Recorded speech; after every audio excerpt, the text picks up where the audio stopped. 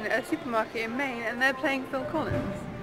Um, so today we went to the Salem Witch Museum uh, and it has been such a miserable rainy day and really stormy so we went in there and we paid $12 for the tour and what was essentially a show um, where they had all these like creepy wax figures and it, like a creepy voiceover. It clearly hadn't been updated since the 70s so we left early but uh, got some cool pictures from it and now I can say I've been there.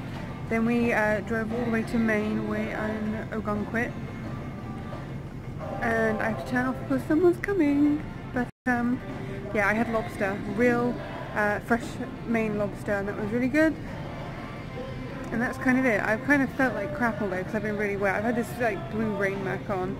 This is me and my Dunkin' Donuts iced coffee and my mint thins, which are the same as the Girl Scout cookies ones.